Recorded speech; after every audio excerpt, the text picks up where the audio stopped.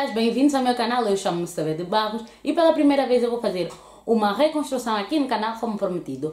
O meu cabelo já está no estado de lavagem, já está uns dias sem lavar, está nesse estado aqui.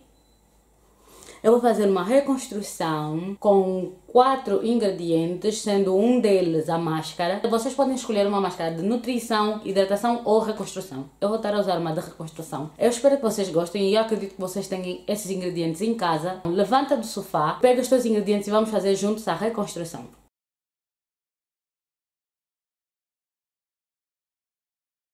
Para o primeiro passo da receita, nós vamos usar duas gemas. Eu estou a usar os dois ovos inteiros, mas tu podes usar simplesmente as gemas. Eu vou usar duas colheres de mel.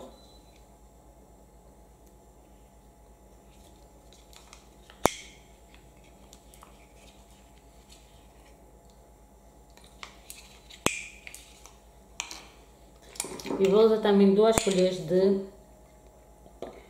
óleo vegetal. Neste caso eu estou a usar azeite.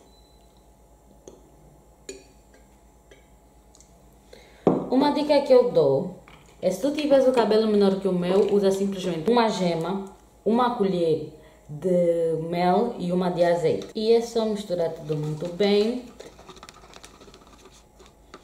Por ter as claras, a minha mistura vai ficar muito líquida.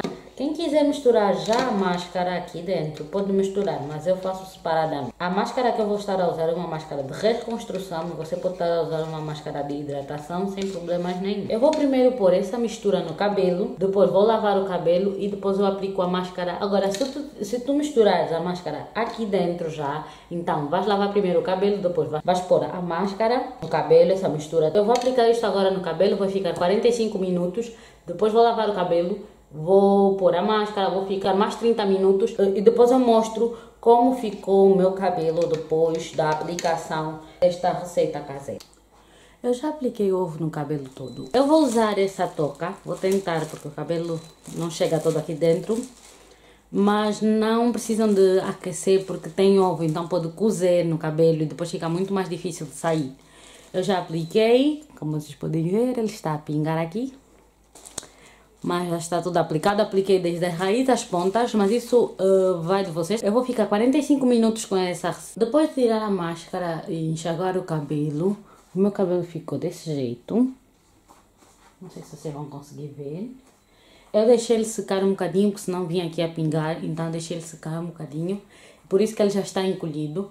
Eu gostei do resultado, meu cabelo está macio. Ele não encolheu tanto como costuma encolher, não sei se é da, da receita ou não mas o meu cabelo também está com brilho. Esse é um tipo de máscara que eu comecei a fazer quando eu ainda estava em transição e me ajudou muito. Por isso eu aconselho a quem está em transição a fazer esse tipo de máscaras de reconstrução que são muito boas. As minhas redes sociais eu vou deixar aqui na tela como vocês já sabem. Para quem ainda não é inscrito no meu canal, eu vou deixar um círculo com a minha cara aqui, alguns na tela. É só clicar aí para se inscrever no canal. Vou fazer lembrar mais uma vez que vocês podem fazer a legenda dos meus vídeos, seja na língua que for.